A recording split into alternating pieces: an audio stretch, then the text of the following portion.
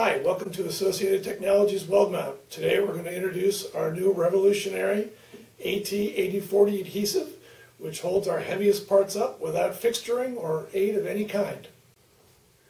This video will introduce our new revolutionary AT8040 methyl methacrylate adhesive. What makes this unique in the marketplace is its ability to hold up one of our heaviest parts, like this stud right here, without any aid. So I'm going to demonstrate that. Uh, we'll go through a little tutorial here about how to apply this. So first of all, what you want to do, you want to make sure that you wipe off the part and you wipe off the substrate. Make sure there's no dust or oils or hand oils or anything like that on the surface. Uh, no need to uh, overdo that, but you want to do just a little surface prep. So we'll do that first. And what we'll do is we'll take the cap off We'll set the cap aside. This is a reusable cap that can only go on one way, and that prevents cross-contamination. See the tip is separated here. So this tube can be reused over and over again. And what we'll do is we're going to put the tip on. It can only go on one way. There's a little V notch. Slide it in, make a quarter turn. Apply that. And we're going to put it in the gun.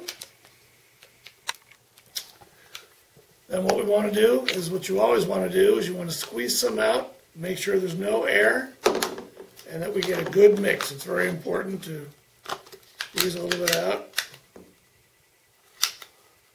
Make sure the material is mixed well. You can see how much I did there. That's, that's adequate. Then what we'll do is we're going to apply a small drop right in the middle of the part. It's very important that we get this material to go all the way around this part. So we're going to see it 360 degrees around it. So we want to press the part straight in, pushing down till we see the adhesive all the way around the part. I can see it coming around. I'm going to take it, I'm going to press firmly, and I'm going to turn about a quarter turn until I can't turn that part anymore, and then I'm done. Part stays right there, it doesn't sag, it doesn't slide. Within eight minutes, we'll have fixture strength, which means you can't knock this off, you won't be able to get it off. Should you want to get it off, you'd want to do that before eight minutes and wipe both surfaces with alcohol in order to get it clean.